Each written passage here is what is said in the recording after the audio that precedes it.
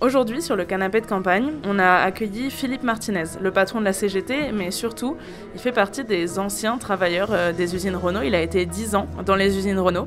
On avait installé le canapé euh, exprès devant la façade, la dernière qui reste, des usines Renault à Boulogne-Billancourt. On a parlé euh, du passé ouvrier de la ville. On a parlé aussi du rôle des syndicats aujourd'hui et du rôle des syndicats aussi pour la suite, parce que si nous, les candidats, candidates de la nouvelle Union populaire écologique et sociale, arrivons au pouvoir, on aura besoin d'eux et de travailler ensemble pour faire la transition écologique qu'on prévoit. On a aussi parlé de l'importance de se parler au-delà de euh, nos divergences euh, et finalement on s'est rendu compte qu'avec Philippe Martinez on n'avait pas tant que ça des divergences. C'était aussi particulièrement euh, touchant de voir des anciens et anciennes des usines Renault venir ajouter leur témoignage à celui de Philippe Martinez sur ce qu'ils ont vécu dans ces usines, ce qu'ils ont vécu depuis et leur attachement encore à Billancourt. Député, je continuerai de parler avec tout le monde, même celles et ceux qui ne sont pas de la même famille politique que moi, de la même tradition de mobilisation que moi ou qui n'avaient pas euh, toujours voté écologiste ou qui n'avaient pas toujours voté de gauche.